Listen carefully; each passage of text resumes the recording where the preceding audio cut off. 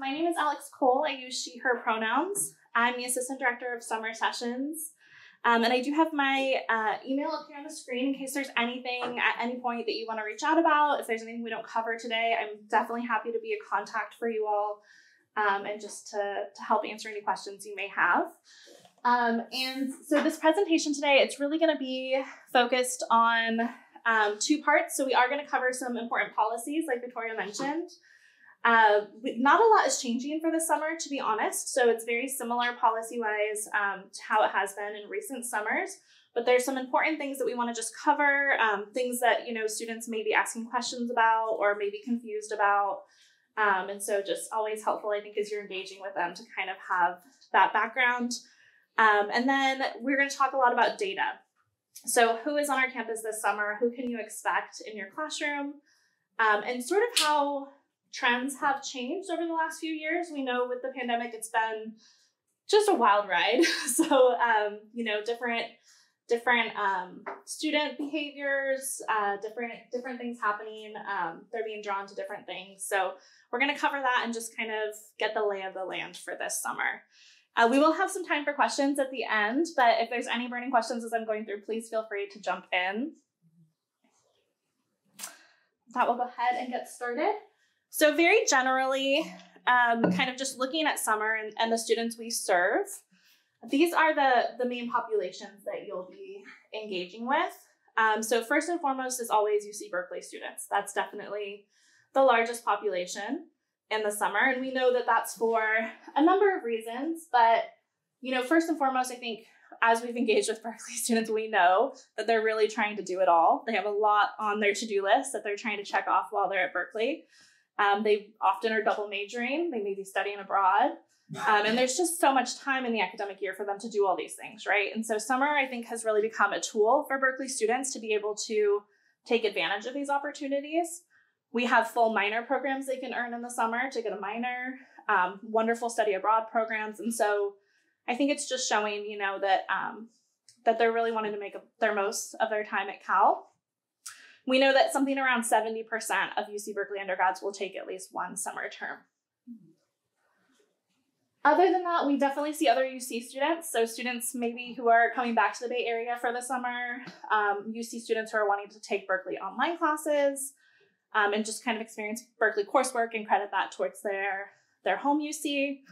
Um, and then a lot, a lot of visiting students. So, um, different populations of visitors for different reasons. We definitely see community college students who are seeking to transfer to UC Berkeley.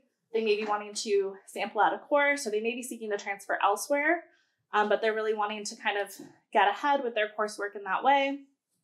We see students from other universities, domestic and international universities. Um, definitely. We also have an international affiliate program. So we partner with international universities around the world to bring students to summer. Um, so they may send a population of students every year. Um, so that is definitely a big and wonderful program. They get a lot of benefits and a lot of extra support for their students. It's definitely been a lot smaller in recent years with the pandemic, um, but it's something we're working actively to grow. Yeah. What students from other UCs come here It may be that they're from the Bay Area and so they're living at home for the summer, so so it's very convenient for them. It may be the coursework, something that's being offered that they're really interested in. Um, we do have certificates in the summer. So there's a number of programs that maybe offer a Berkeley student a minor, but another student could come and still earn a certificate for that same program. So that can be something that can be appealing for them if it's, particularly if it's like the subject matter that they're really interested in. Um, yeah, and then we we do have high school students in the summer. So this is a population that's really growing on our campus that we're really excited about um, and that we're going to be talking a little bit more about uh, in this presentation. But first things first, jumping into a few important policies. Um, so the one thing I wanted to stress is that there is no cancellation fee in summer anymore. We did in the past, pre-pandemic, there was a $100 cancellation fee.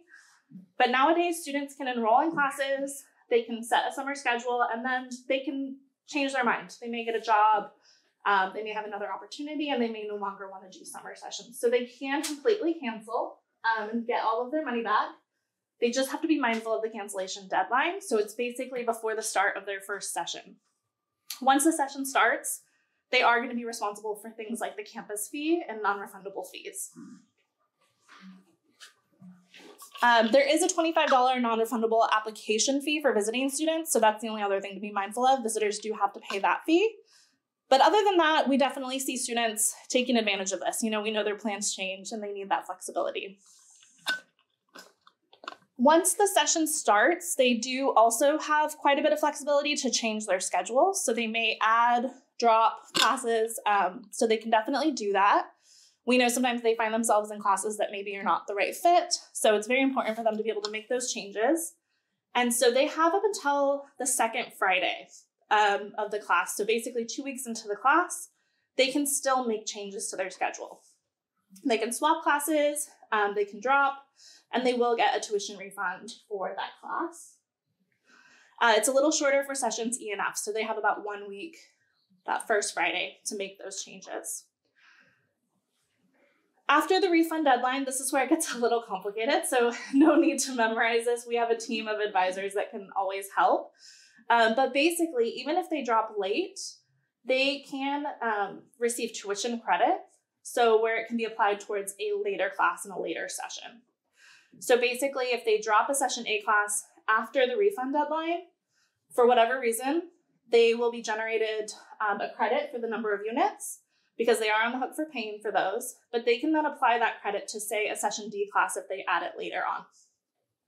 So that can be really helpful for students. Um, we just sometimes see them, you know, not quite understanding the, the sequence that they need to add things in. And so we really ask them to reach out to our team who can work with them every step of the way and make sure that that gets applied exactly as they're intending. And so that's this email at the bottom, summer at berkeley.edu. Um, and that's a really wonderful catch-all email. It's a whole team of advisors. They get back within 48 hours to staff questions, uh, faculty questions, student questions. So summer at berkeley.edu. And then lastly, the grade change deadline. Yeah, I'm sorry. Oh, I just wanted to ask, the non-tuition fees, you can get those back, like for the summer session A, you can get those back anytime before Monday. Right. Yeah, if Okay. they're a session A student, they need to cancel prior to Monday starting um, to get the campus fee back. But then they have two weeks after that, and they can get their tuition fees back, but not the non-tuition fees. Right. How much are the non-tuition fees? I think the campus fee is three eighty five this summer. Um, so that's the, the primary fee for Berkeley students that they'll be paying. There's some other fees for for students who are visiting. Got it, thank you. Mhm. Yeah. And usually that is the case. Usually, um, when it gets this close to the session starting, I think they know they're going to be taking some classes this summer. They just may be changing at that point whether they're they're starting and they find that it's not the right fit. So I think you know there is a lot of flexibility. I think um, with the pandemic and and the cancellation fee going away, that was a really big improvement for summer and for students, no longer having that hundred dollar fee. Uh, the deadline to change their classes from pass to no pass is two weeks prior to the end of the session. So that's for all sessions. And um, before that point, they have a lot of flexibility. They can change their mind, um, but they will be locked in after that point. Okay. Okay, so quickly jumping into summer 2023 trends. So this is really an overview. We're going to dive into some of these a little bit um, further. But first and foremost, we are seeing an increase in UC undergrad participation this summer. So that's something we always look at. It's very exciting. Um, you know, when they when it's up, it's showing us that we're offering what they want. They're getting what they need. They're taking advantage of summer um, to really get ahead. And so, from looking at this time last year to this time this year, we're up 7.1% in UC undergrad enrollments. So that's really great. Um, it's not as high as it was during the pandemic years of 2020 and 2021 when instruction was all remote. We saw some really interesting anomalies those years. So um, as soon as the decision to go remote was made, UC undergrad enrollment kind of went through the roof. I think we are up something like five or six thousand in head count um, really quickly. So we know, you know, with them being at home, not having a lot of other opportunities, studying was something that they could really do in those summers. They could really focus on getting ahead, and with everything remote, they had a lot of access. They weren't having to pay for summer housing. Um, it was very affordable for students to to take summer and get ahead with their degree requirements. This summer, summer minor and certificate enrollments are up 28%. That's also huge. It's showing us that not only are they taking classes this summer, but they're sometimes doing full programs. They're earning a whole minor. Um, so that's really exciting. Online classes are very popular. Um, there's now quite a lot of options. There's like hundreds of options for students to choose from in summer. So that has really given them a lot of choice and flexibility, and we've definitely seen some students drawn towards um, online instruction in the summer. We are seeing the return of our international visitors finally. So this year, visitor enrollments are up 42% from last summer. So we were really hopeful that with the return of in-person instruction last year, they were going to come back, um, and it it wasn't quite the case. There were a lot of COVID-related complications still. So uh, Omicron surged right at the beginning of our application period. Lots of long visa visa processing times we heard about. Just travel challenges uh, across the board. But this year it's looking different. So that's really wonderful. Really optimistic that we're going to be able to welcome um, some really wonderful international visitors again. Um, and just a, you know, just a caveat that even though we're up so much from last summer, it's still nowhere to what we were pre-pandemic, 2019 and before. Um, but you know, it's it's positive um, signs in the right direction. And yeah, Are we offering more online classes now than pre-pandemic? Yes, by a lot. Yeah, we're going to talk a little bit more about that. Um, but in 2019, we had something like 40 to 50 or so fully online classes. Um, now there are over 200 for students to choose from. Some are synchronous, some are asynchronous. It does vary. Um, but departments have been really intentional about trying to offer some online options for their students. And they're gonna stay. Yeah, it's it's likely. Um, you know, it, it changes year to year. They may decide, oh, this class wasn't a great fit for online, and the department may make some decisions around that. But for the most part, we're seeing trends in the direction that more and more will continue to be offered. But we also know that a lot of students are still looking for those in-person opportunities. So that's the one thing we're when we're talking to departments, you know, we you know, even though a lot of Berkeley students are really interested in the flexibility online offers, a lot more of them also want to be in person. A lot of visitors want to be in person and have that on-campus experience in the summer. And then we have a couple of special programs that are also doing better and better post-pandemic. So we have our summer abroad and global internship programs, which we launched last year and have grown quite a bit for this year. So that's great that you know our Berkeley students can once again travel and have those international opportunities themselves. And then pre-college, the high school program is also um, just getting more and more attention with students. This is really a visual representation of a lot of what I just said. Um, so we can kind of go through fairly quickly. 2017 and prior, our domestic and international data is combined. So you can kind of see that it looks a little different there. But in more recent years, we can see the breakout of international and domestic visitors. But I think what, what is most interesting about this graph is just if you're looking at 2019 to 2020, the, the big jump in the blue line, the UC undergrad, so that's that five to 6,000 in head count that I was talking about. Um, so just, you know, whether we'll ever get back to that, I don't know. It was really, a, you know, just a unique time for our students when they were really taking advantage of coursework. Um, but we see kind of since then we've leveled back to like 2019 figures, which is what we were really expecting. Um, this year is on here as well, though it's still very early. Like even though session A is starting on Monday, students will continue to ro- enroll in session C and D for, for several more weeks. Usually at this point, we're right around like the 80% mark of final enrollment figures. So we're expecting to be up from last summer. Um, so we're expecting it to be a very busy campus this year. Busy classes, yeah. Do we know ahead of time uh, who our students are along these lines? Oh, like their breakdown? Yeah. So you can pull like rosters in Cal Central, uh, or sorry, um, Campus Solutions that will indicate whether they're like of international status, um, you know, whether they're High Berkeley undergrads. Yeah, the high school, the high school one is difficult. Okay. Um, they show up as just international visitors usually, or domestic visitors. Um, but if you have a question about a specific class, our team would be happy to help identify them if you'd like to. Um, chances are, if it's an undergrad class, you may be teaching high school students, so we'll talk a little bit more about that. Um, but a lot of times you won't know it, and and you know that's because they take it very seriously and they do really well, so they they tend to um, you know blend in with the undergrads. Can, can I just jump in one second? You probably do this anyway, but one of the things I do is to send out a pre-class survey Mm. to try to get that information that feels like it's a bit more hidden in the campus systems. Yeah. Yeah, that's a good point. Was there another yeah, question? Oh, I was just gonna ask, so to reach out to you for administrative questions for the students is summer dot for summer at berkeley.edu. Yeah, if you if you reach out to summer at berkeley.edu, um, it'll probably feed back to me from our team. But yeah, they'll they'll basically connect you with someone um, that can help you with that data. Is there a different email for instructors versus students? No, that's Oh. a that's a great one. Yeah, great catch-all for everything. Um, because we have a team that's triaging, and if it is a, an instructor or staff question, often it does come back to to my team. Um, but yeah, so you can definitely reach out to that one, and then I'll put my email back up at the end in case you want to reach out to me directly. That's also fine. Yeah, Doug.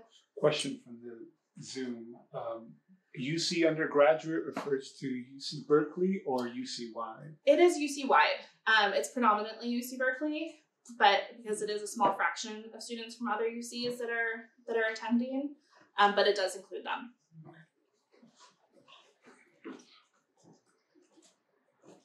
This is the session distribution at this point. So if we look at total enrollments um, for summer 2023 so far, this is where they're falling. Um, so we can see that session C is the largest, followed by session D and session A.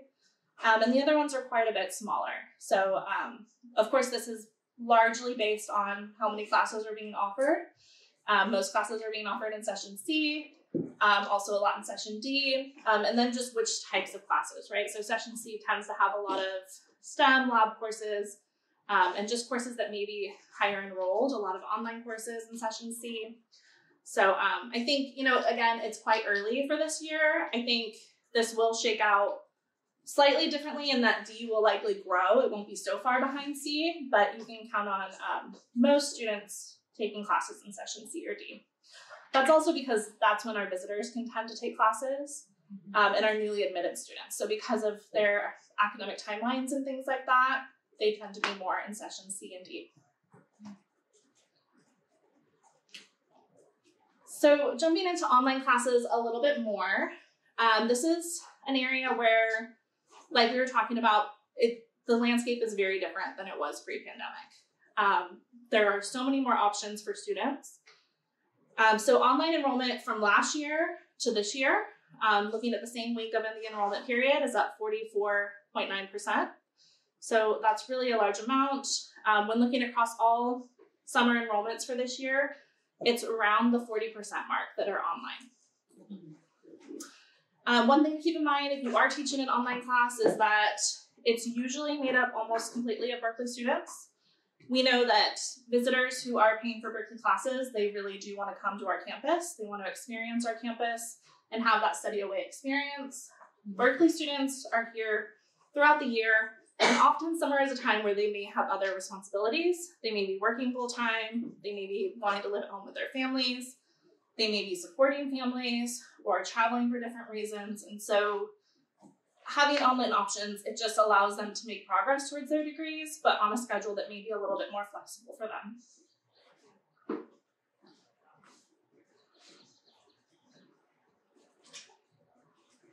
Our high school student population, so this has really grown um, in recent years. We have um, quite a lot of, of summer students who are 16 years old or 17 years old in the pre-college program. So they may be showing up in your classes.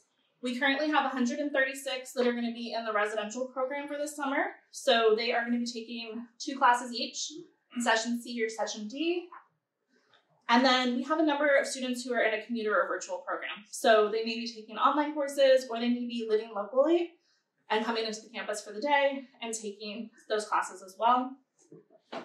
That number will keep growing because they can enroll on the same timeline as other students. So all the way up to June. Last year we had 714 that were either commuter or virtual students. We also have 80 that are in a non-credit program. So that's a little different. They're not going to be in your classes. they're in sort of structured, um, tailored programming for them um, because it's only two weeks, but it is another population that is around campus. And the you know the biggest thing we we hear question wise from um, instructors about these students is you know concerns about whether they're prepared for the coursework. So they're they're almost exclusively in lower division courses. There may be a couple of exceptions, but you would have likely have heard about them. They have to basically demonstrate that they've taken a lot of prerequisites and are really ready for the, the upper division coursework, and we get the, the sign off. But they are they could be in lower division courses. Um, just data wise, they tend to do really well. Like these are very high achieving students. They have their sights set on Berkeley, usually. Often they do end up matriculating, which is really exciting for us um, because they are often the students that we want to see on our campus. So 52% received a grade of an A minus or better last year. So that was really great. And then overall, the passing rate is around 90%. We do have um, a number who are on full ride scholarships. So 22 in the residential program and then several others in the virtual or commuter program. So we work with the Center uh, for Educational Partnerships in identifying students that would really be a great fit, that really need that early college experience and exposure, um, and that we know are going to do very well and likely end up at Berkeley someday. Or another wonderful four year institution. There are others. um, okay, so newly admitted students. So we're going to dive now into Berkeley students specifically in the summer, because that is the, the number one population that you'll be engaging with. The most, uh, most of the summer students who are Berkeley students in the summer are continuing from the spring term, right? So they're just continuing on into the summer. But there are a couple exceptions. We have a pretty big population of newly admitted students. So incoming freshmen or incoming transfer students who we welcome to take classes that very first summer. So before they start in the fall, they can enroll in Freshman Edge or Transfer Edge and basically get ahead with classes. They can get acclimated to campus. They benefit from a number of special programming opportunities and resources. They can do a mentorship opportunity through Berkeley Connect. And there is um, some specialized courses that they can enroll in. So, for example, they may be exploring what major they want to do through LNSW1, or they may be transfers that are really seeking to strengthen their skills, you know, that really are going into tough majors. They really want to take um, certain courses that have been identified for them so that they can be on a really solid foot when they when they jump in in the fall. We currently have 152 freshmen and 174 transfers, but that's going to continue to grow as well. It's really early for this population. And then, just interestingly, um, if we look at the data for the past several summers, we know that there's actually a higher percentage of transfers in summer than we would expect given the population in the academic year. So, what that's telling us, I think, is just they have an even shorter amount of time on our campus and more that they're wanting to do and needing to do. So, summer can be really valuable for, for transfer students specifically. And then lastly, um, in addition to these populations, there are always some returning students who are being readmitted. Um, so they come through summer kind of on their path back into Berkeley. That's typically about 1% to 3% of the, the summer population. Jumping into some other data, so this is from Cal Answers, and it's really looking at summer student demographics. These are all based on the UC Berkeley undergrads um, that are in summer. So we're kind of comparing, again, how that may look differently or similar to the academic year in general. We know that for this coming summer, 57% of students are female identifying, 41% male, um, 1% or so are non binary, and 1% are declined to state. Uh, the caveat here is that this is collected at the time of their application, so quite early, and because of how it's collected, the non binary number is likely higher by the time um, they're in your classes and things like that. So, just something to always be mindful of, um, being respectful of pronouns. And then level one ethnicity. So again, this is from the their applications. Um, so it's the highest level. 39% are of Asian ethnicity, 25% underrepresented minority, 16% international. So for this particular um, data, it does separate out international students. So um, these are fully matriculated UC Berkeley students that are international students. And then 20% are white, other, or declined estate. Um, and so the, the differences here to pull out are that, you know, in the academic year as well, enrollment is um, higher for female identifying students. It's just a little bit higher than that for summer. So 57% is a little higher than the academic year figure. And then similarly, the international figure is higher in summer than we would expect based on enrollment in the academic year. And so, you know, what that's telling us is that international students are also taking advantage of summer kind of at higher rates. And, you know, we can kind of attribute that back to cost most likely. So in the summer, um, there's only one fee rate for Berkeley students, right? They all pay the same rate. There's no in-state or out-of-state tuition difference. So summer can be a really good deal for certain students to get ahead. We definitely see them taking advantage. Yeah, Doug. Question, um, curious why internationals collected separately, wouldn't international students all fall into some race, ethnicity for demographics? Yeah, definitely. No, so they, they would all have their own ethnicities. Um, this is just for this particular call out in the UC application. It's like, I, I believe it's based on like a trumping system, so it all rolls into these categories. So it's not, um, it's not the best for specific ethnicity data. And then lastly, first gen status, we know that from recent summers, approximately at one third of UC Berkeley students enrolled in summer identified as first gen. And this is actually a little bit higher than the academic year by a few percent.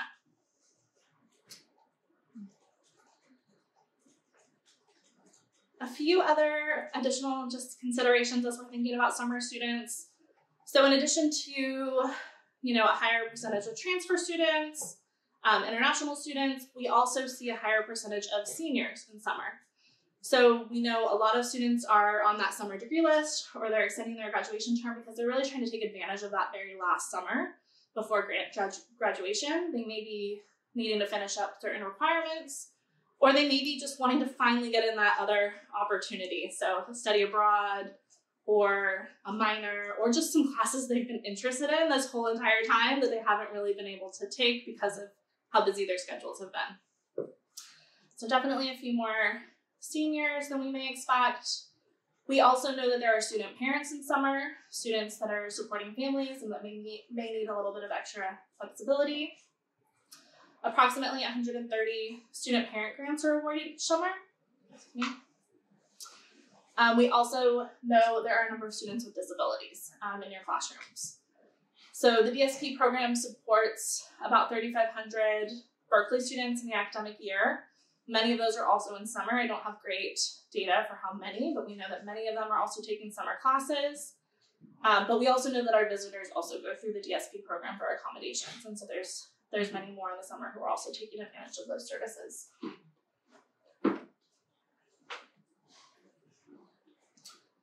Um, and lastly, right as we're we're wrapping up, I wanted to touch on financial aid. Uh, financial aid is something that our Berkeley students are relying on in summer, just like in the academic year. It's very important and it's allowing access for a lot of students to take those classes that they're really needing and wanting.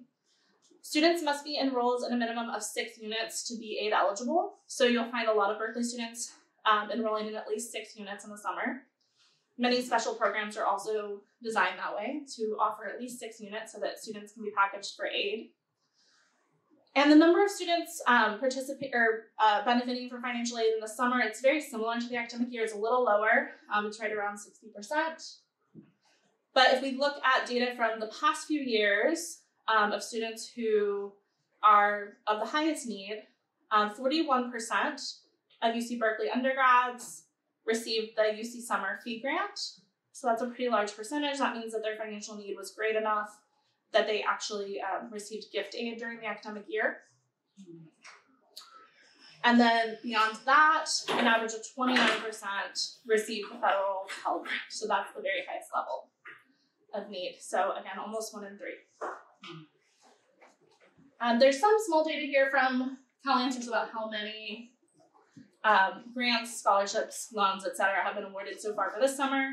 Again, it's going to change. It's going to go up um, quite a bit as we we get further into the summer term. But all this to say, you know, summer is often an additional cost for students. They're, they're often paying for these classes, and it can be expensive. But a lot has been done to make summer more accessible for our Berkeley students, um, and to offer them that that aid that's really important. With that, I just want to open it up to any questions I can answer. Um, if there's anything I didn't cover, um, I'd love to, to dive into that for a few minutes. Yeah. When is the last day for a student in the six-week term to add a class? So for session D, because that A, happens over session A, so they can add up until the second Friday of the term. So they have about two weeks, two weeks from Monday. Yep, and then it'll be the same for session D. So, so that's you know after that it does tailor off the shorter sessions, but that's why we see students adding, dropping, changing classes all the way up until, until those June deadlines. Yeah. What's the minimum uh, course enrollment that we need for the course to be viable? Mm, that's a really good question. Yeah, it, it varies. So it's um, by the number of units. So um, there is a whole table that I can I can give you access to. So it's it's basically um, the website is Sall S S A L L dot berkeley dot edu. That has them all listed. Um, So that's our that's kind of our department facing website. So it stands for Summer Session Study Abroad and Lifelong Learning. Um, so sol.berkeley.edu, and under there you'll you'll find um, different categories for like finance or um, scheduling. I think it's under the scheduling one. There's a whole breakdown for course cancellation minimums. Um, so it, it just varies by the by the number of units. Um, but usually by now, like, are you teaching? It's a session A course. Yeah. So it would have. It's definitely running. I mean, they would have been canceled by now. So even if I mean, can students still drop the course? They can, but it, it still runs at this point. Okay. Yeah, we have a cutoff. So, um, so and you have to be notified at least two weeks, I think, in advance of the course start if there's any changes, like if it's not going to run. So at this point, it's it's very set for sessions A and B. Um, there could be still some fluctuations for D if your if your class is slow enrolled, but um, for C and D, I think even C is pretty set at this point. But yeah, Thanks. yeah. Actually, just wanted to speak to uh, a concern that Emily brought up. Um, if you feel like students will really, really struggle to be successful in your course if they add so late in the game, I know that's the case for me. I teach an eight-week online asynchronous American cultures course. If Yeah. students suddenly pop onto my roster towards the end of week two, I really, really worry um, not only that they you know won't be able to pass the course, but I definitely worry that they won't have a sufficient amount of time to properly engage their material. And if that's the case for you, then you can talk with your scheduler in your department, and they can actually in, enter an earlier cutoff date, so that if a student wanted to add the course, they would have to reach out to you. Okay. Um, and I'm, you know, I'm, I'm absolutely happy to, you know, if a student has an emergency, they want to talk to me, they absolutely need to add my course. Um, but I don't just want them suddenly popping up on my roster and then week four or five contacting me and saying, I have no idea what's going on, I can't keep up, what do I do? Um, so that's, like a good, a good way of kind of balancing, um, to talk to the scheduler in your department. Yeah, that's a good point. I think so. The the two things I would say to that, um, one, so they are based on the normal academic year drop deadlines, so it mirrors that. But I definitely understand like summer is shorter in general, right? Six or eight weeks is, is a lot shorter. Um, and I think the other the other thing I would mention, you know, is just that on that that class schedule or in your syllabus, if you can kind of call out these things, these concerns in some way, I think that's really helpful for students as they're making these decisions. You know, so they have a little bit of of understanding of that because because they do have the the idea now that they have some flexibility there. But if they see that, you know, as they're browsing classes, I think that can really help caution them and set expectations. Yeah. Uh, so all the summer students, they also have access to bCourses and we can use B course as we the Yeah. And then what is the, when are grades due for us as instructors to enter after the end of the class? Yeah, so I was just looking at this. It it it's they're listed by session, but it's like the following week. Um, so I, I know I think it was session A I was looking I think it was session A I was looking at and it was um, you know, after the session ends on Friday, I think they were due by the following Wednesday or Thursday. Is, Ka- is Karen Denton the person who operates the grading system in summer as well as the regular academic year? I believe it's all the same. It's all the yeah, same. it should be the same. But So- I'm not sure about the person. So Karen Denton is the person who operates the e-grade system, and if you're having an issue with grading, the grading deadline, she's Mm. really good at working with you. So we can also post her information. It's Karen Denton, D E N T O N. She's the longest serving employer employee at UC Berkeley. She's been here like 45 years. so she knows everything. She says even if you don't have an issue, she's great to know because she knows everything. Oh, that's great. Thank you, Victoria. Uh, is your final exam uh, compulsory for the summer session? A final exam. It, there is flexibility. Like some classes have a final project, um, or yeah, essays and things. So it, it does vary by the class. It's another great thing to call out. Um, you know, and this and you know, I, I think so. Students are browsing the class schedule right at classes.berkeley.edu, and there's a lot of information there for them. So if you're able to link your syllabus there, or just put in some class notes section about what to expect, we find that's really really helpful for them um, i think you know now we're we're in kind of a steady space of being back to in-person instruction but i know there was a lot of confusion last year where there were certain things that were required in person and certain things where instructors were giving more flexibility and students weren't really aware of that. So anything you can get on classes.berkeley.edu i think is so helpful and valuable. And so that's another thing the scheduler can really help with adding any important messages you want to send to students before they enroll. Yeah, I, I had, I had uh, just uh, uh, I, had uh, this time, so I posted my syllabus uh, one week ahead, the last week, and it scared away some students. so my enrollment dropped. oh no And I'm, uh, I'm just wondering, uh, is it because uh, the final exam is compulsory? Or uh, I also said that uh, attendance is uh, compulsory because uh, it is in-person class. I, it's very standard. I mean, they should be expecting that for mo- for their classes. So I don't I don't think that would be it. Or could it be uh, like too much readings because it's it could be that. it could maybe be that. Yeah, It could maybe be that. enrollment. Yeah, yeah. So uh, I'm definitely giving final exams for my classes. That's uh, standard. But uh, my issue is, I'm looking at the schedule, and um, the class schedules are one hour and a half for me from Monday to Thursday, summer session C, and I'm having to give the final exam the last day of class, Mhm. Yeah. and that's an hour and a half. But but I also teach um, in spring and fall, and for those classes, the exams are in the exam period, and they are three hours. And I have students from my previous semester who are doing incomplete. So they're gonna have to have to join my summer class to result the incomplete by taking the exam. But if that's an hour and a half exam, that's not the same thing. So that's my worry is that we don't have exam period. So am I having to give two exams on the Wednesday and the Thursday and the last week in order to make that a complete final exam? What can I do in this case? I know you can extend beyond the class window. Um, it's just a matter of whether that runs into any other finals they may be taking in their classes. You know, classes they would normally have scheduled then. So that may be a, a way of you know polling students a little bit, surveying them, and trying to understand if if they have that flexibility and just making accommodations for maybe those that have conflicts with other classes. So then that will be a lot of coordinating.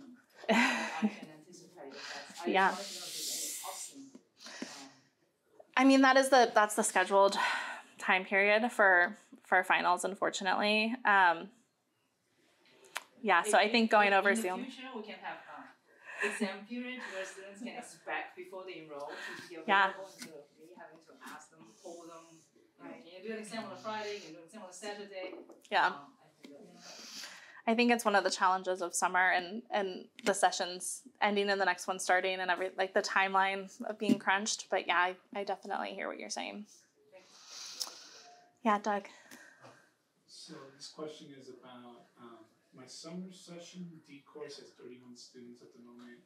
I can get a reading grader if there are 35 enrolled. Is it reasonable to expect another four enrollments before session D starts? Session D. Yeah, I would say so. Um, but also there it, it depends on the department and what your department is saying, but sometimes there's a little bit of flexibility. You can sometimes reduce the percentage of the GSI or the reader a little bit um, to kind of get to that that correct ratio. Um, but yeah, I think four before session D is reasonable. Of course, it depends on the class and things and how enrollment's been going, but based on how many are in there now, it seems like that that's very doable. Yeah. Not sure if you addressed this. Um, since we have some potentially pre-college students and whatnot, uh, do we have the same summer ca- campus resources for like writing, uh, tutors and whatnot? Are they still on campus this summer? Yeah, pretty much everything is, is still available to students in the summer. Yeah, the Student Learning Centre has dedicated summer um, staff support.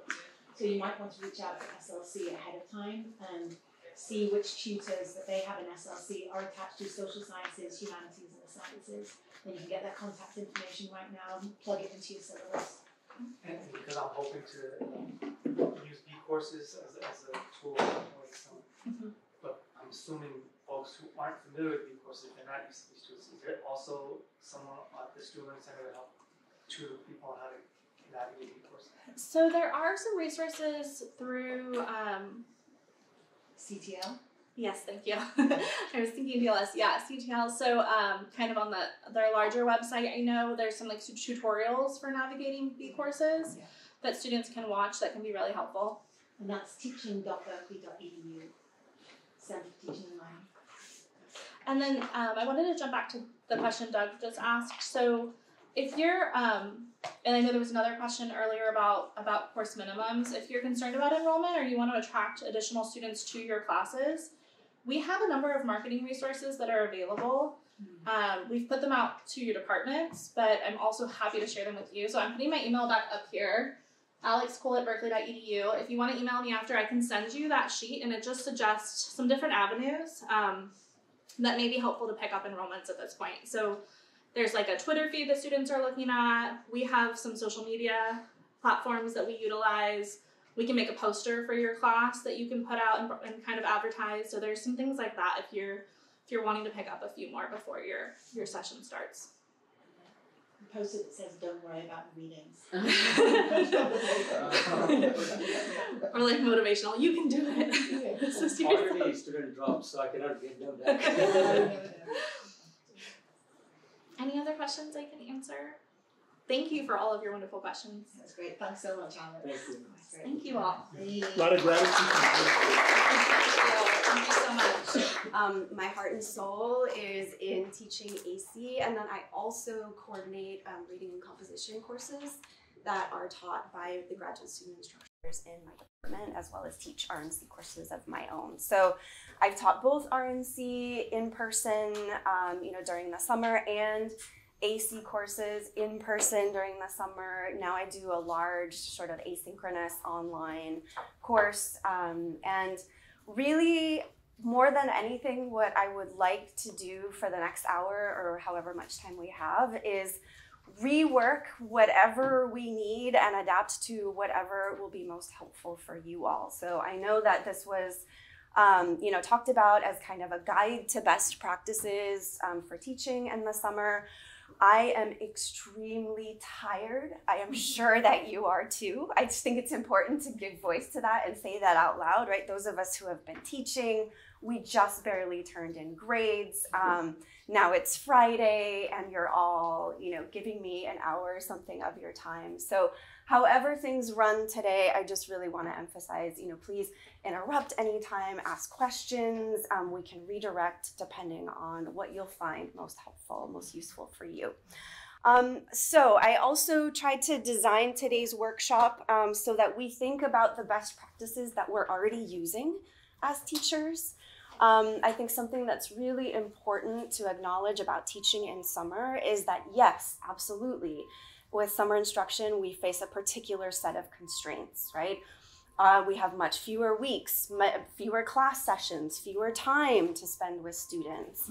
We have to be very, very deliberate about assessments, very, very deliberate about assignments, whether those be readings or otherwise, even though I think getting students to read is important. And if they see a lot of reading, they shouldn't run away from the class and drop it immediately. We have a lot of constraints um, when it comes to teaching in summer, but I would also suggest that we can sort of reframe these as opportunities because these are um, sort of ideal moments in which to reflect on how we teach, why we teach, and how we can sort of maximize every single element um, in terms of the pedagogy that we're practicing over the summer. So um, something else that I wanted to do with today's workshop was make it interactive. So I've sent around a handout. Um, I hope that this gives us an opportunity to, you know, draw draw, write, okay? Um, I didn't bring my crayons. Most students know me as the person who brings around a big bag of crayons and colored pencils. I didn't have time to pick those up from my office, but feel free, you know, to, as we work through this handout, to fill it out however you see fit, however it's helpful for you. And don't even fill it out if you feel like it's something that maybe you'd like to look back at or something that you don't feel is particularly relevant to you and your experience of the workshop today. All right, so as I already said, um, teaching in summer isn't, I see it, fundamentally different from what we already do. Good teaching is good teaching. Um, but I do think that, as I already mentioned, summer instruction presents us with some unique opportunities to really get back to basics when it comes to our teaching. Um, and so, in this way, I wanted to start today by just sort of revisiting some very, very um, central, I would say, pedagogy fundamentals. So we're gonna actually start with learning goals, okay, which are often known as learning objectives. Okay, I don't like the word objective personally, so I like the word goal. So we're just gonna switch it out for that. Um, one thing that I can say about summer instruction, because it is so compressed, right? Because we are rushed, students are rushed, yet we still have to meet the same curricular guidelines. It's even more critical, I think, that we identify our learning goals very, very early on, and then plan around those. Plan however possible for us and our students to meet those goals and to facilitate our students' success in meeting those goals. So, why am I starting with learning goals? What are these? Okay, this is probably like pedagogy 101 for all of you, but I sometimes find it really helpful to just go back to basics, as I said. So this is on um, the in the little gray box on your handout. Okay, um, so learning objectives are essentially ways that we articulate. Okay, as I say, I call them learning goals. Moments for us to articulate what do we most want students to learn or be able to do by the end of our course. Okay, so learn or be able to do by the end of the course.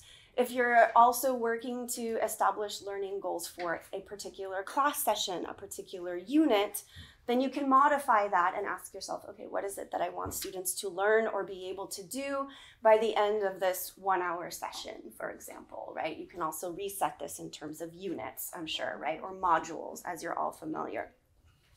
Why are learning goals or learning objectives so important? Because as instructors, they ground us, and then I would also say they help us ground our students. Um, you know, as we've been reiterating over and over, summer happens fast. We move through, um, you know, we try to attain the same curricular goals as we do, do during the regular semester, but we're really, really rushed um, in a lot of senses. Part of what I find is beneficial about taking pause and thinking about our learning goals is that it helps me sort of quell the anxiety about being so rushed and helps me feel more centered in terms of, well, this is what we're here to do. This is what we're here to do. This is what my goals are for my students in this particular class, in this particular term. And I can always sort of sit down and reevaluate on that basis. Um, and I highly, highly recommend having some course level learning goals that you actually put at the very top of the syllabus right? Three or four, maybe maximum of five sort of list of concepts, topics, or skills that, as our Center for Teaching and Learning says, right, can guide student learning and add clarity to students' learning experiences. So now I'm reading from this little gray box. By designing the course from a list of three to six course level outcomes, instructors can provide students with a clear set of expectations, and students will be better prepared to demonstrate their learning in a way that aligns with their instructors' expectations. Okay, so just a quick reminder about what learning goals are and also why they're so important. As I said, why I think they're particularly important given the compressed amount of time we're working with in summer session. Um, when it comes to writing, right, articulating learning goals, I also feel like it's really helpful to remind myself of these three pointers. Again, I'm borrowing from our own Center for Teaching and Learning. Um, well written learning objectives should be student centered, actionable, and measurable. Okay, and I think it's worth sort of taking a moment to read what they mean by all of these student centered. Focus on what students should be able to know or to do rather than what you plan to teach. Okay, so notice how we're shifting here from I'm the instructor, this is what I want to teach, or this is what I need to teach, to instead a student centered focus, right? Um, what is it that I, I want students to be able to do? What is it that I want them to be able to learn? And that is sort of the starting point for how you plan all aspects of your course. So, student centered also actionable. So, well written learning objectives will identify concrete actions and behaviors that students are expected to demonstrate.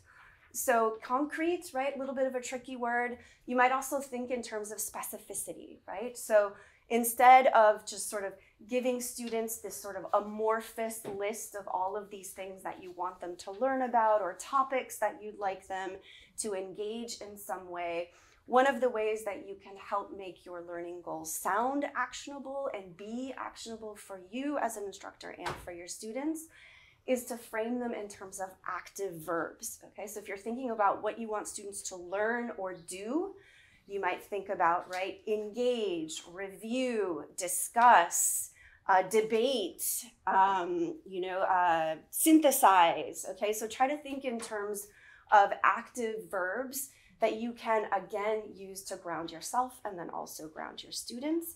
And then last but not least, measurable. Oh yeah, go ahead. What would be an example of something like not to in terms of like the active verbs? Um, as opposed to I'm sorry, can you repeat that question? like you said use like active verbs. Yeah. Like as opposed to like what would be examples of things like not to do? Um, well, I think it's active verbs and it's also, you know, trying to be as specific or as it says here, as concrete as possible.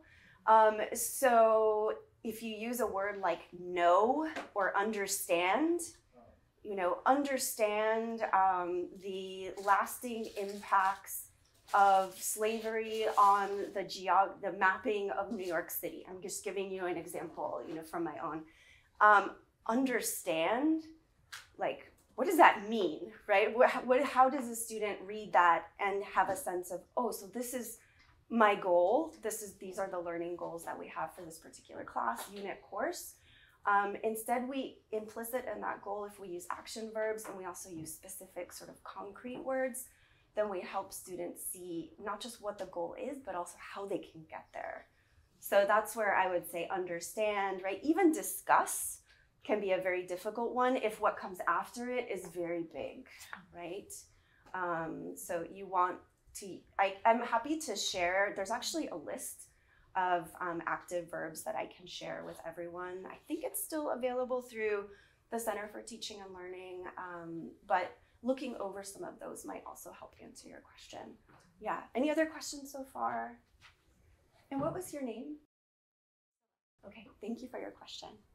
Yeah. Well, just responding that to that question too, like like even like this is really basic, verbs in a passive voice, like students will be exposed to. Yes. Uh, yeah. Mm. Versus students will debate, Generate right? Yeah. And then even why do we? I mean, this is maybe I'll get a little too personal here, but why do we talk about them in the abstract? Students will be able to. Um, I actually like to write my syllabus in a language that says like you, right? Um, you, or talk about our class community, right? Or students in this class.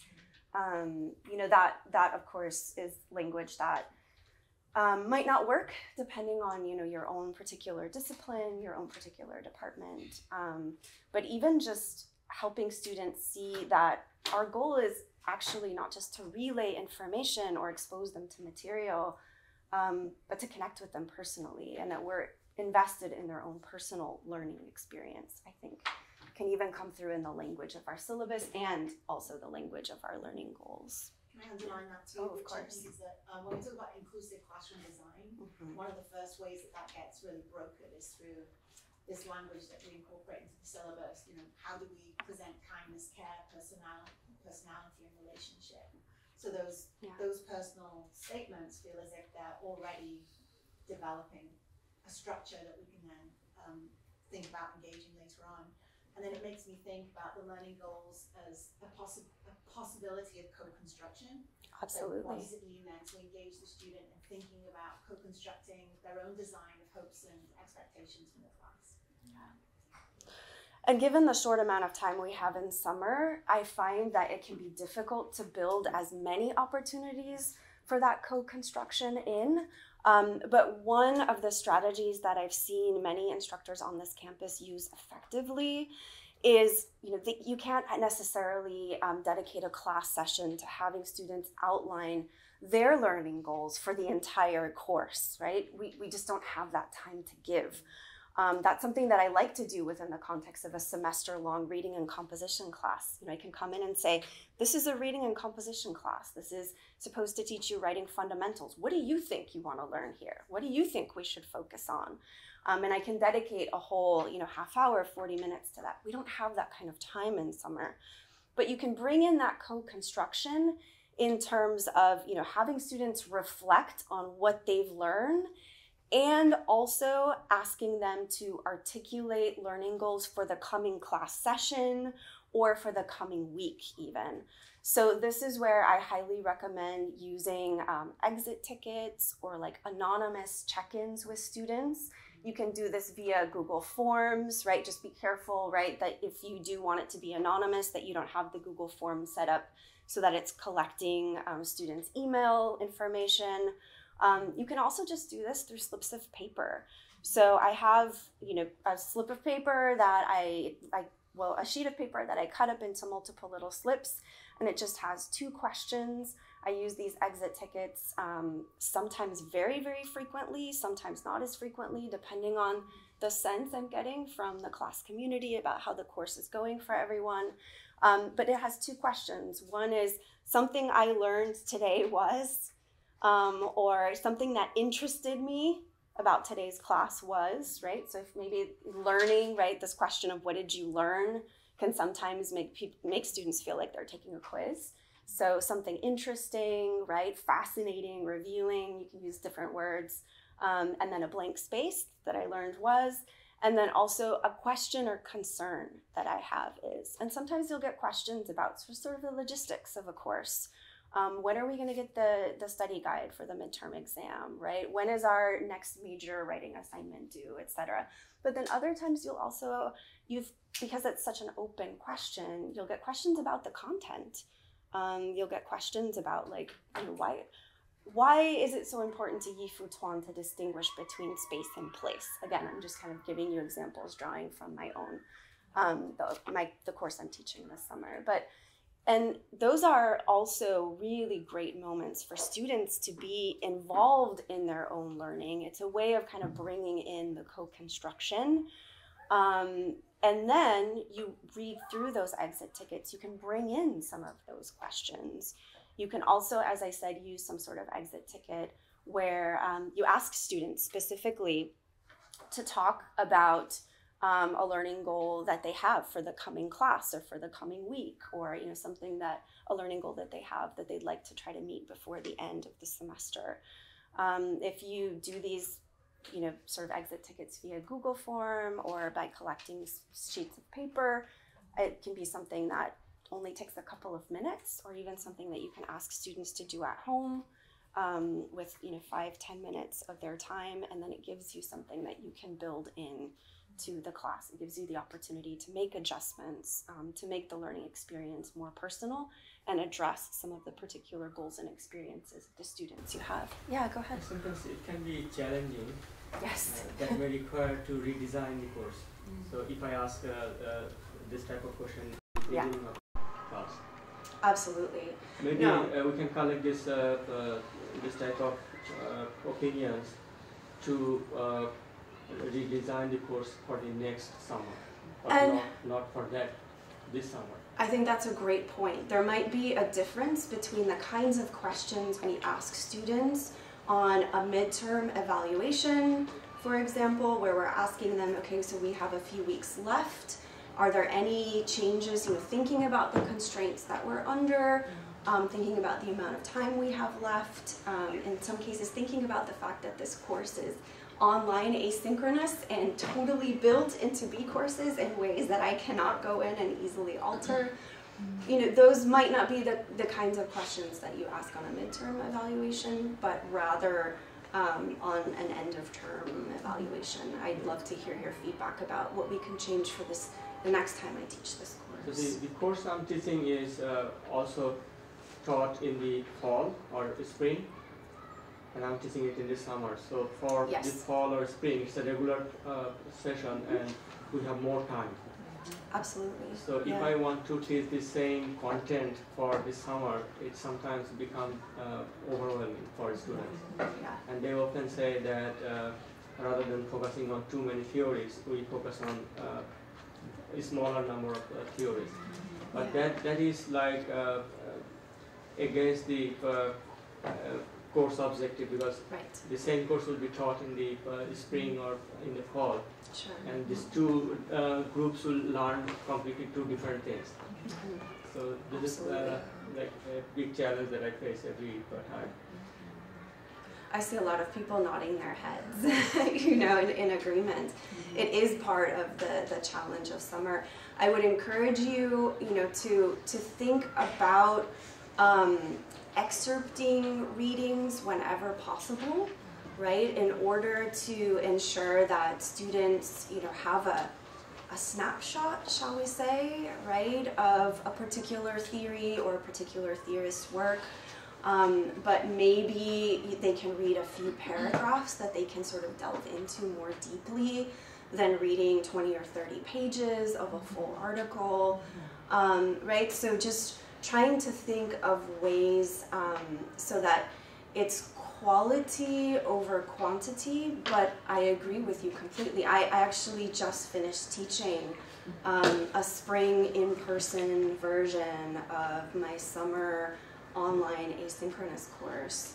Um, and it feels like a completely different experience. Um, absolutely different. And yet, the curricular guidelines, especially for an American cultures course that I have to meet, are the same. That that can't change, right? Um, so Can I mention something? Yeah. So, so one thing before I forget is that there's a free um, app on campus through Centre for Teaching and Learning called Poll Everywhere. So to this point of these exit slips, if you want to do something in the class, if it's an online course in particular, um, Poll Everywhere is a really good tool um, and it can create anonymous feedback. So it's something that captures comment quickly. And the other is um, to the data that was shared by Alex, thinking about the idea of where the work in summer lands. We often give our students in the regular semesters a lot of homework, as in homework, but thinking about the relationship of students to their work lives during the summer, which is normally heavier than in the academic year, and often off-campus work, not on-campus work, as work study students. So part of the arrangement I've heard that faculty try to think about is to how to create homework options inside the classroom mm-hmm. so that the homework is, is, is relayed differently. It becomes in-class assignments, it then becomes project-based assignments, maybe for collective learning and not just individual assignments. Mm-hmm. So that was something that I was thinking about when you were talking about kind of the speed, but also the manner of how our students show up for the Sure. summer. Yeah, no, that's a great point too. Um, there are many things that we assign that can be turned into a 15 minute, you know, pair activity, for example, or a small group activity. Or in some cases, um, what we are able to do is at least have students start the quote unquote homework in the classroom together, right? Also in order to emphasize you know, the collective learning experience, and then um, have them finish it, right, um, on their own or working in pairs, right, um, Google Docs, etc., at home. So that would be a way of, you know, possibly adapting some of the assignments. Um, I would say reduce the reading load wherever possible. And for me, I know that's that I mean, that should be a bumper sticker, but I I have such trouble with that because as soon as I take away this poem, as soon as I take away this novel, then I feel like well, students are going to miss out on this or that or the other. Um, but this is actually why I personally have found it really helpful to come back to my learning goals, even when when evaluating, do I really need this here, right? Or maybe I provide it to students and make it optional, so that I know it's there, I know it's available to them. They can look it over, they can engage it if it speaks to them. But I'm also trying to keep these larger concerns in mind about how much energy, how much time do students have, um, and how can we also ensure that they're getting a quality experience, even though we are expected to meet the same curricular requirements as we're doing during the normal semester in a very, very compressed amount of time.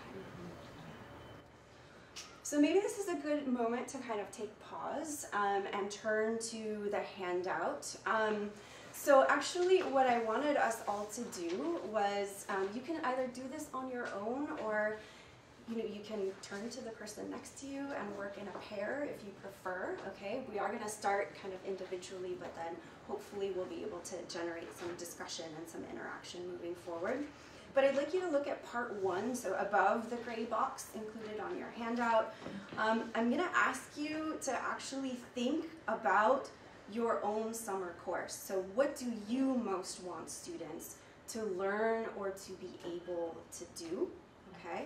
Um, don't worry too much right now about framing these in terms of you know, the language that you'll use on your syllabus. Think about this as a moment to think and work in draft mode and just try to articulate for yourself. Here are one or two of the learning goals that I think I want to orient my own work toward in the coming couple of weeks. So let's take just like three minutes to just jot down some ideas, draw pictures, as I said, if you prefer, and then we're gonna come back and share and refine a bit together. Right, okay, thank you all. It was so nice to hear a lot of voices moving around in the room. Would anybody be willing to share with us? Okay, and you don't have to have the, per the perfectly articulated learning goal, but if you just be willing to share with us something that emerged through your discussion, um, something that you think would be helpful to share with your students and use to frame your own lesson planning, course planning process as we move forward. Mm -hmm. Everybody was so talkative a second. Yeah, thank you. Sure, I'll start it off. Um, yeah, we had a great discussion. Um, one thing that, well, we, we did go through the uh, the articulating learning goals, uh, but the I think the thing that really came out of our discussion was that um, first of all, you can't make all the students happy.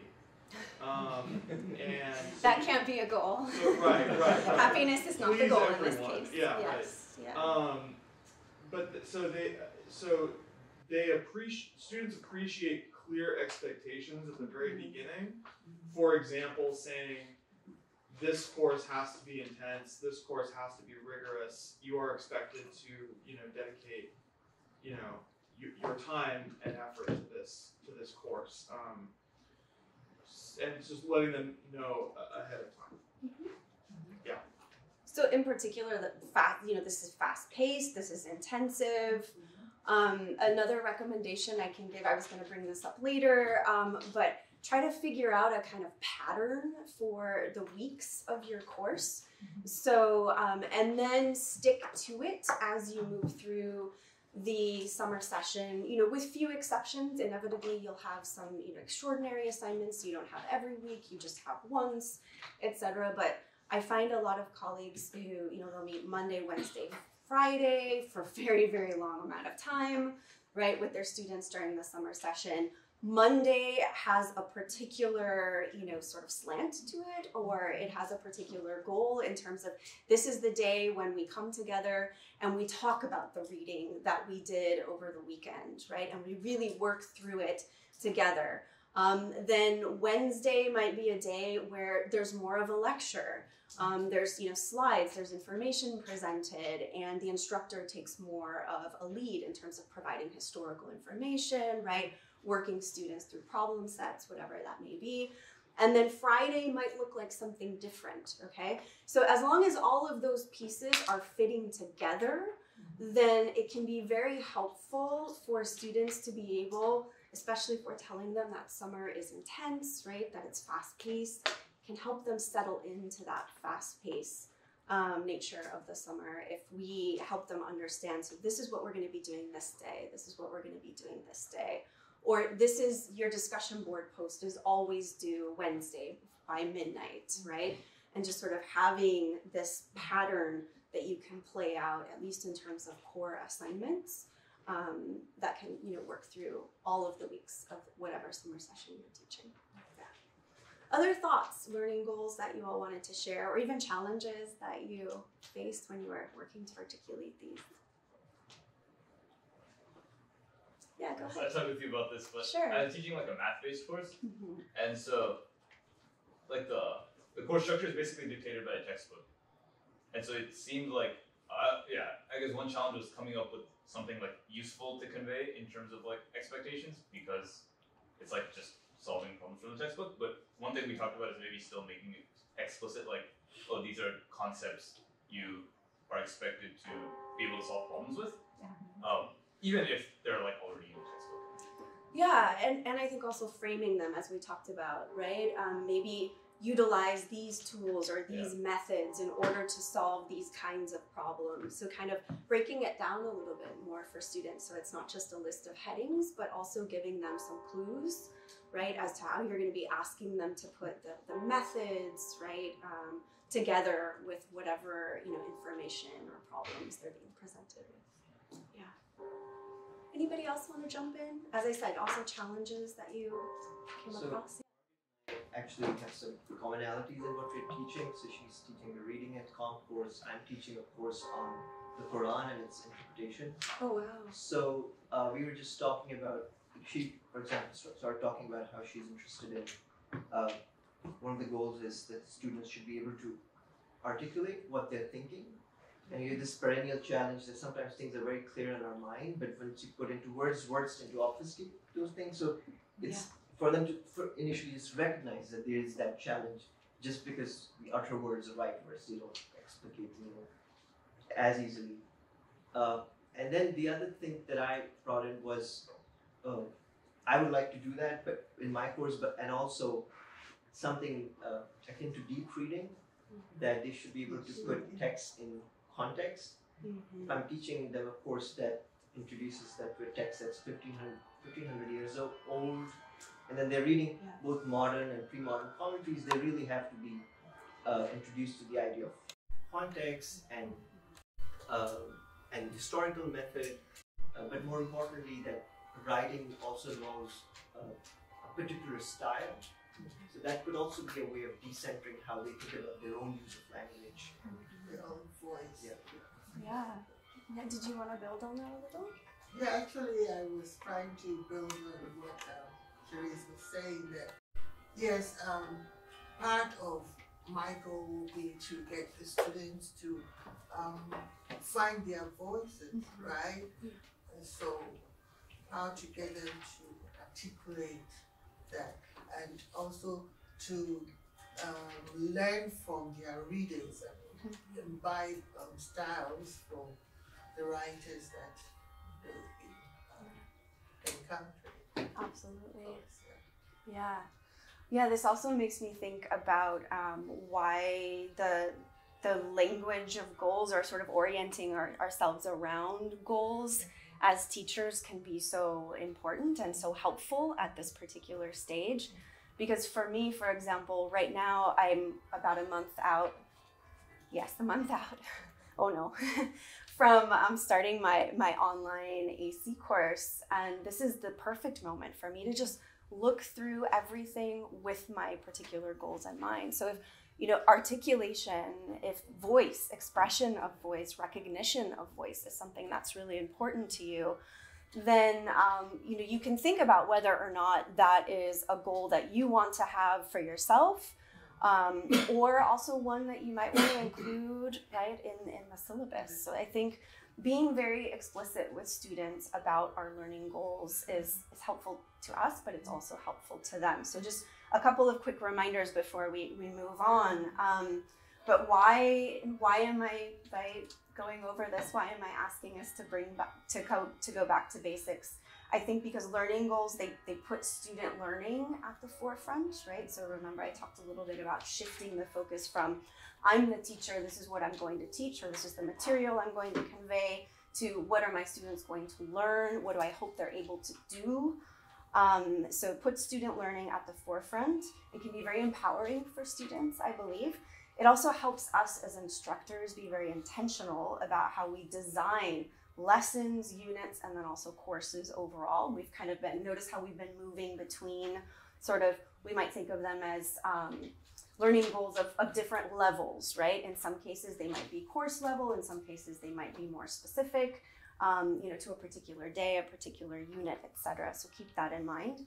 And then this is related to the, the last point that I wanted to draw out about the emphasis on learning goals that I've made today, that I think they help us evaluate our courses on the big picture and the small picture levels. Okay, so think about constantly having these goals to ground you and then being able to sort of zoom in and out on different pieces of your course, um, as well as enabling the students to zoom in and out, okay, and to move through, as we know, right, a lot of material very quickly, but still be able to remind themselves, oh, this is what I'm here for. This is what my goal is this is what we're, we're doing in this course, right? It can be a very, um, can be very comforting, very grounding for students, particularly given the fast-paced nature of the summer. Yeah, go ahead. Yeah, I learned one very important thing about like uh, doing the homework in the class. Mm. So this way, uh, I'm thinking because uh, my uh, topic is uh, very general, so anybody can uh, cheat on, on, this. Like nowadays, uh, ChatGPT is a big problem. So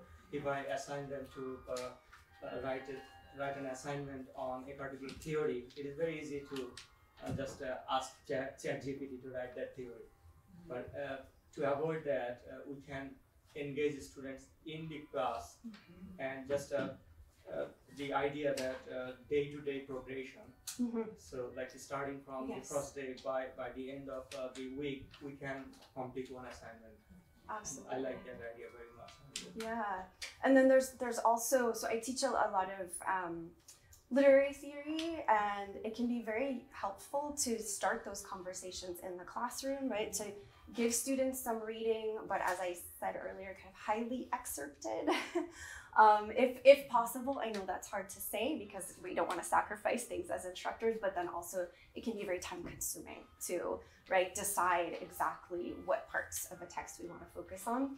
But giving students some of the reading and then creating some space in the classroom for them to grapple with that theory. So that it isn't just a, oh i could look this up on the internet or you know a, a machine could produce an, an answer or a definition.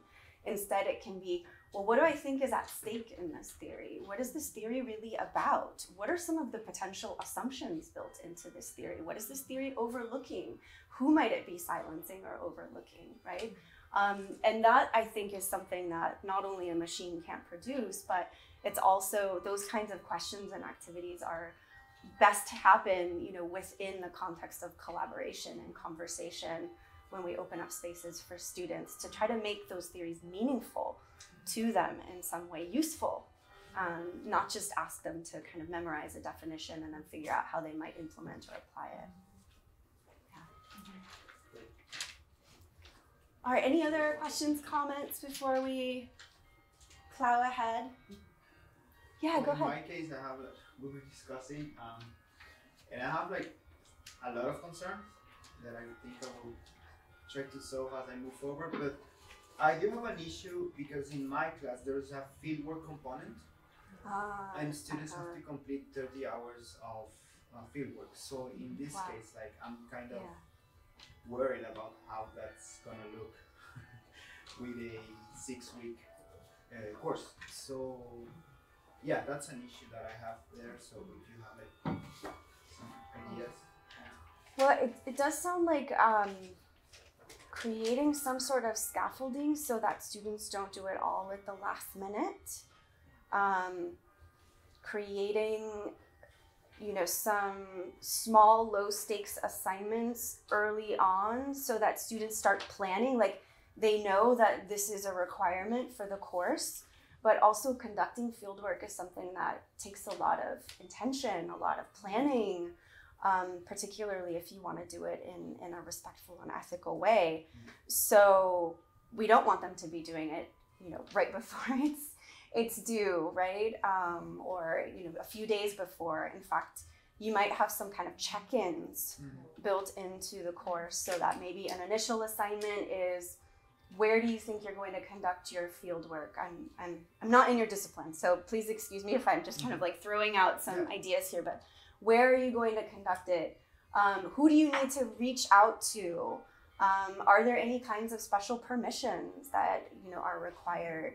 Um, forms of you know consent, but I, I also mean permissions in terms of if you're going to be conducting field work, you know, are you gonna, are you approaching it in a thoughtful and respectful way, um, not just in terms of legal consent, shall we say, right? So just kind of having this almost like a questionnaire that asks students to start planning ahead right away.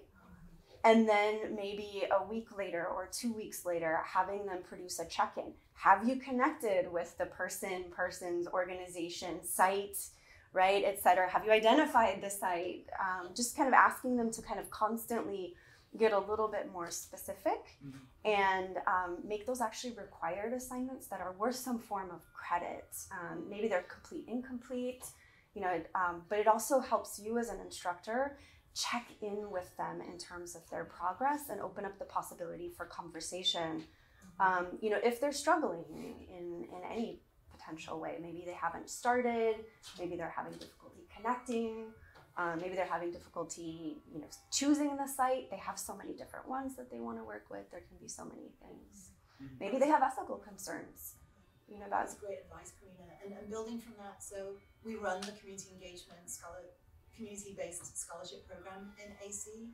Um, so check out the community engagement link on the American Cultures website. There's a faculty toolkit, um, which is not only advice for faculty working with partners, but how to create assignments that can support the scaffolding that Karina's uh, talking about.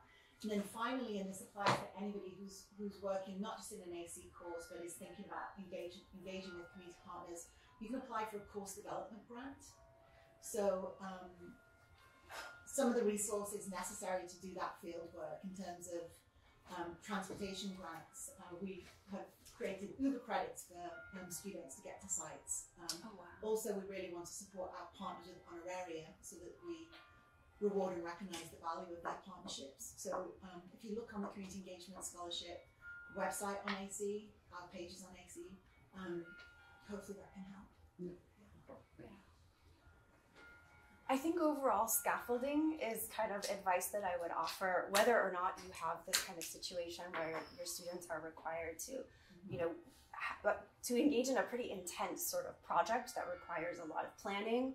Um, and again, within the context of the summer, I think scaffolding within the context of summer assignments is even more important um, because when you hit, you know, so my my summer session is eight weeks long. By the time I hit week six, it's very very difficult for me. Um, as much as I might want to support a student and help them negotiate a difficult situation, if they're running very behind or they're really struggling with the material. Um, then it's very hard for me to support them and intervene um, in, in a productive way at that point. So I feel like the scaffolding helps me as an instructor, as in that it allows me to have sort of check-ins with the students, even if it is just a credit, no credit, you know, sort of form assignment, but just to make sure that they keep thinking about you know these sort of long-term goals that we have or these long-term requirements that we're asked to meet Um, and then it also helps the students because it creates, um, you know, a, the scaffolding creates a situation where hopefully they're able to approach the assignment more deliberately, more intentionally, right? Instead of pushing it off to the end, or in some cases also letting anxiety, you know, settle in and, and making it hard for themselves to, to motivate, right, and be able to complete the, the assignment. All right, um, so we don't have that much more time. Um, so I do just kind of want to briefly walk you through um, what you might do at home if you would like to, and then throw out just some, I think some of the tips that I uh, collected for all of you I already shared or they emerged in our discussion, but there are just a couple more that I would like to, to share. Um, so notice how if you look at the bottom of the first side of your handout, part two, practicing reverse design. In pedagogy language, this is also known as backward design, um, but I don't like the word backward. so I use reverse instead, which to me works a lot better. If you flip the page over, I think you'll get a sense of sort of why it is that I actually asked us to go back to basics and start with learning goals for today, but also where you can take this from here. So, in terms of a very, very brief introduction to reverse or what's more commonly known as backward design, the idea is that as instructors, we start by articulating our learning goals.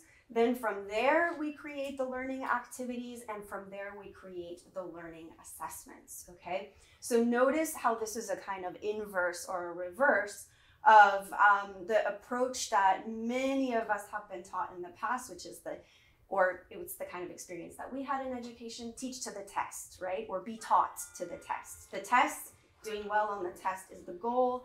The instructor sort of makes that the ultimate goal and then backs up from there in order to design the learning activities and also the learning assessments. And by assessments, right, you might think of exams, you might think of quizzes, but you might think of any any kind of assessment that you're using um, to grade students, right? To, to in some way measure or get a sense of whether they're learning um, and they're, they're meeting the learning goals that you've articulated for the course. So, in starting with our learning goals today, I've kind of asked you to put yourself in that mindset. And what I would recommend doing on your own time is you don't have to start from scratch, right? I sort of started off today by saying I don't think teaching in summer is fundamentally different. And I know that all of us care very deeply about teaching and we put a lot of thought into the teaching that we do during the regular semester. There's no reason that we can't bring that life, that passion, right, that experience to our summer teaching.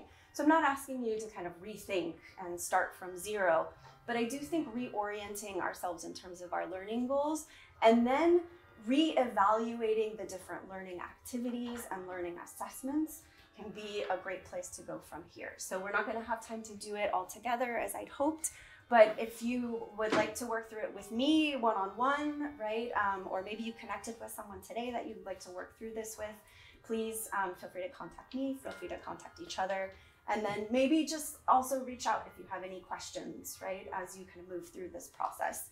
So, um, what I do want to talk about before we head out is this question of fostering student engagement. It looks like I got logged off here. Give me one second. So, um, in terms of student engagement, we've hit on some of the advice that I wanted to share with you. Um, a couple of just really sort of brief pointers that I'd offer before we leave today um, that we haven't yet talked about. One is to try to mix it up and engage students with different modalities.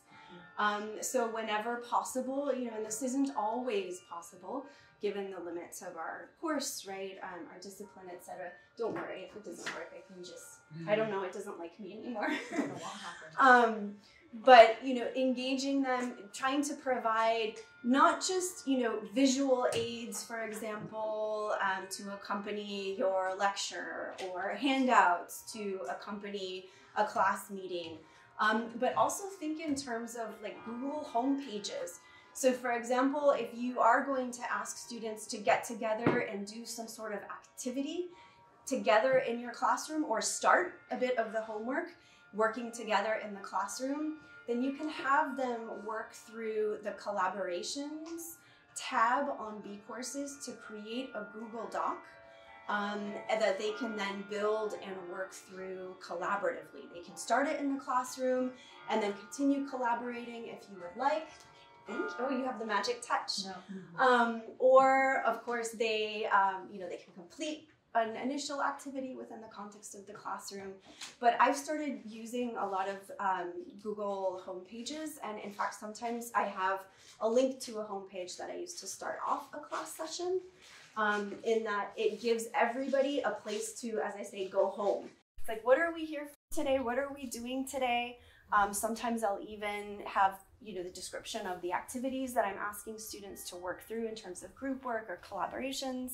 But sometimes I'll also have you know images, timelines, um, you know particularly important slides from the slideshow that I'm going to walk them through, just so that they have a chance to look you know and and engage in different ways the material that we're going to be working for that particular day. Yeah. Um, especially for the collaborations point. Yeah. Uh, oftentimes, maybe more so with like math-based classes, it's helpful when people like have each other's contact info so they can talk outside of class. Absolutely. Um, often, obviously, at the start of the semester or at the start of the summer, people don't know each other, Mhm. and like the more social kids have an easier time, like you know, getting to know people, getting people's contact info. Yeah. Uh, and they form these, you know, like message, Facebook group chats and all. Um, but like the less social kids maybe have like a harder time doing that. Yeah. If so, something I've thought about is maybe like breaking people up into groups and like suggesting to them, hey guys, feel free to like exchange, like, yeah, like Facebook. Is that something that's like legal for us to do? Um, I would. So I can't speak to that. I'm no lawyer. um, but I can say that I break students up into lots of different kinds of groups using bCourses.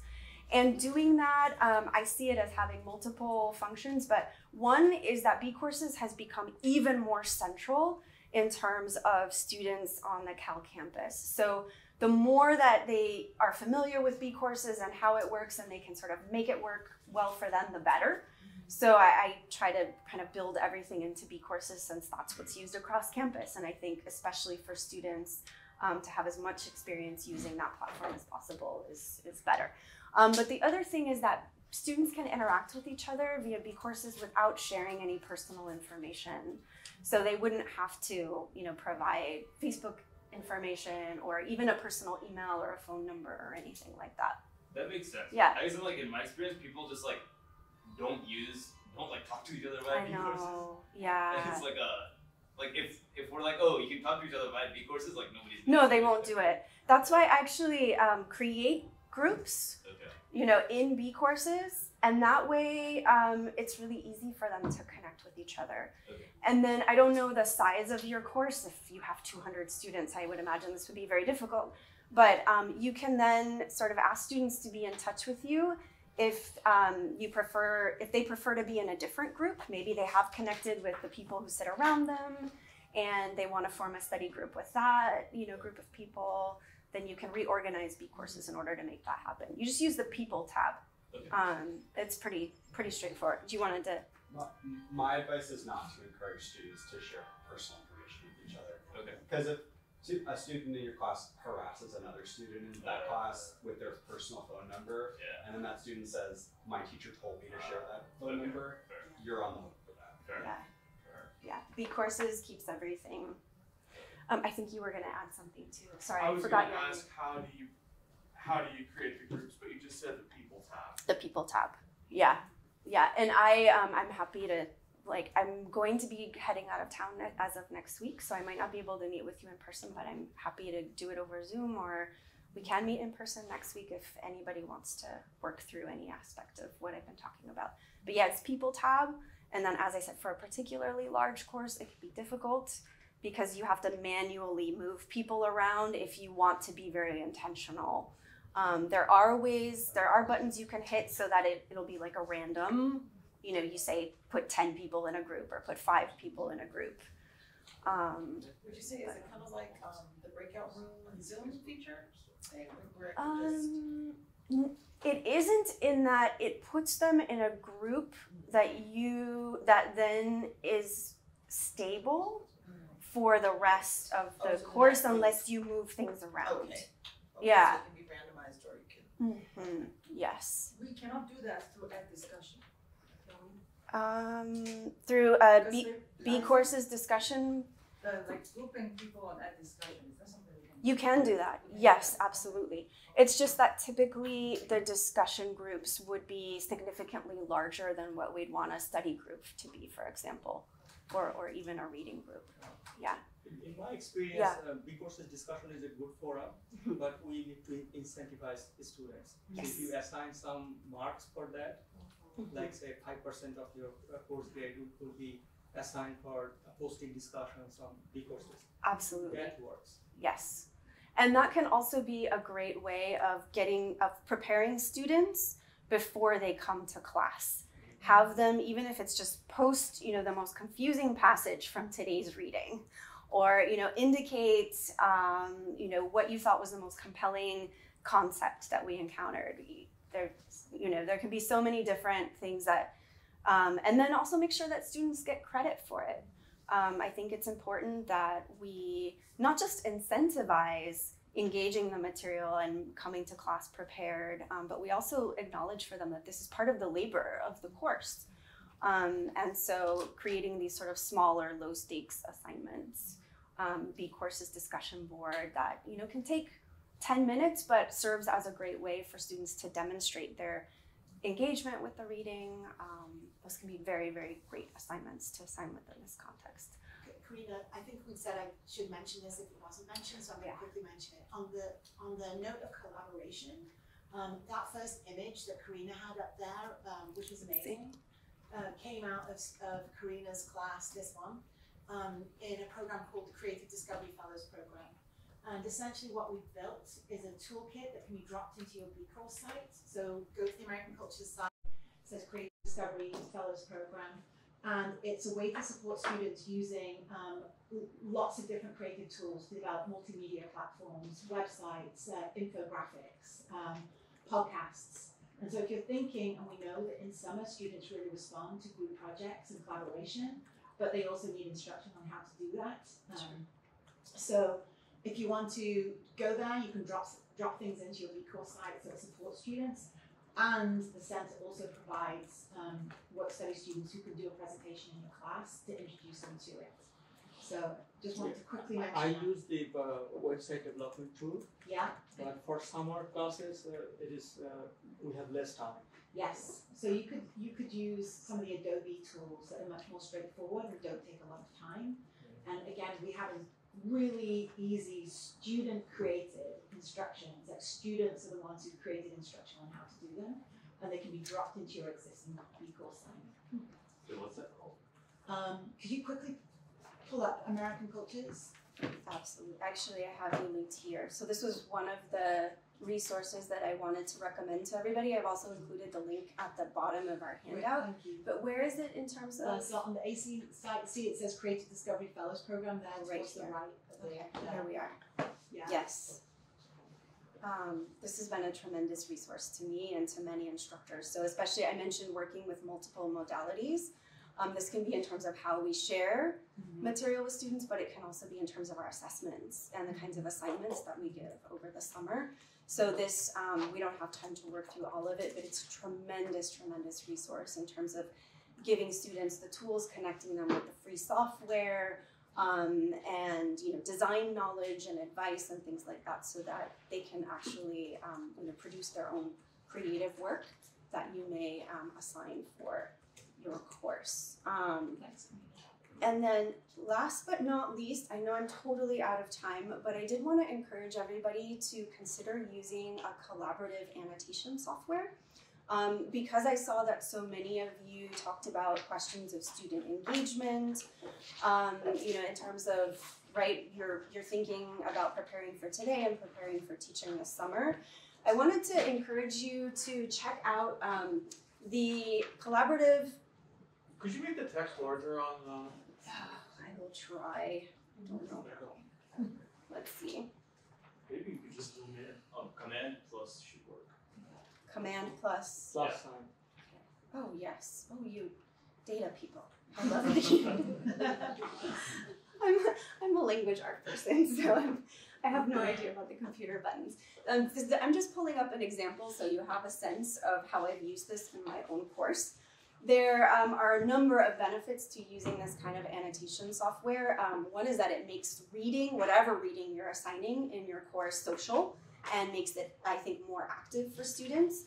Um, it also is free through bCourses, so it will save students money. I think this is something really important to consider within the context of the summer when we still have students who are um, struggling, you know, with basic needs, with housing costs, with um, food insecurity. This is basically a way for you to take your texts as PDFs, upload them through bCourses, make them available to all of your students for free and then also give them the opportunity to annotate the text so they can highlight they can um, put comments and you can also set it up so that, that they annotate collaboratively so maybe they're in a group with five other students for example and they can see each other's collaboration um, they can see each other's annotations excuse me and respond to one another and then this also is very easy to grade within the context of bCourses, um, it's also very important in terms of accessibility. So we use Hypothesis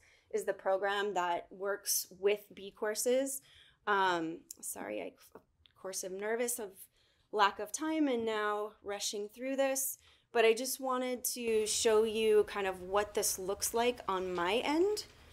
Um, you'll see Okay, this is a PDF of some excerpts from a reading that I gave students.